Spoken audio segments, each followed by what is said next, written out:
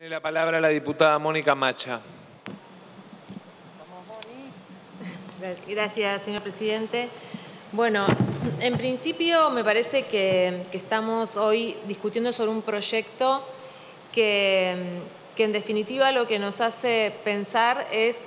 poder acercarnos a la situación que está viviendo nuestra comunidad, nuestra sociedad, ¿no? a un momento de sufrimiento,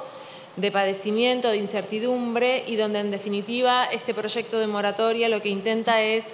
llevar un poco de alivio a, las familias, a las pequeñas y medianas empresas, a los comercios, a todo ese sector profundo y masivo y popular de nuestro país que todas las noches se acuesta pensando en cómo resolver su vida doméstica. Eh, me parece que en, en esta línea es importante también poder pensar estas problemáticas siempre de manera integral, no fragmentarlo, no tomarlo como hechos aislados y el contexto de la pandemia y la cuarentena especialmente nos genera esa situación. O sea,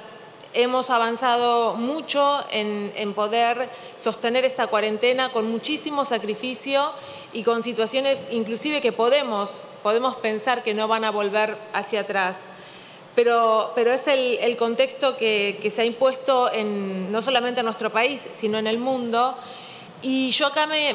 me, quedaría en poder pensar también un poco la situación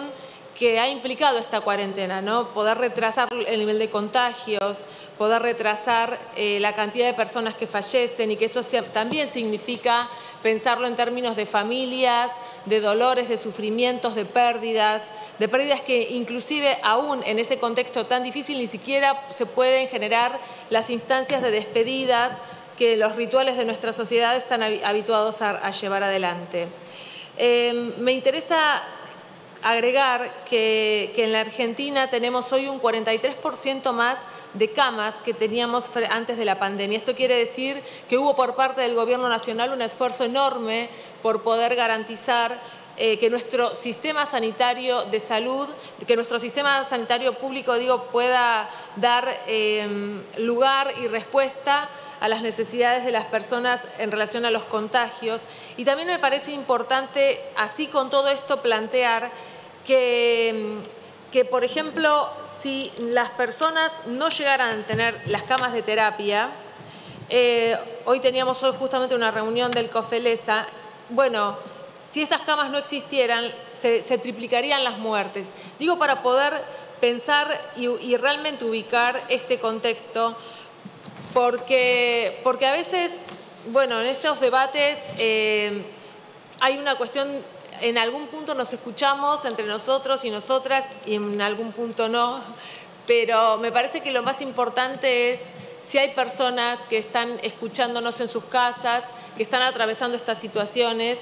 y ahí poder plantearles que hay un gobierno, un gobierno nacional que está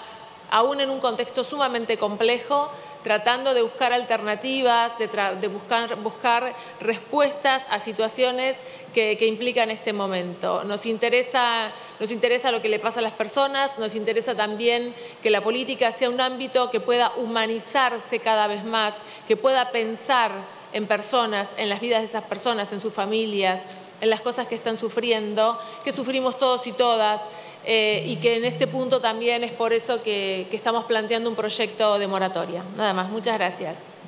Gracias, diputada.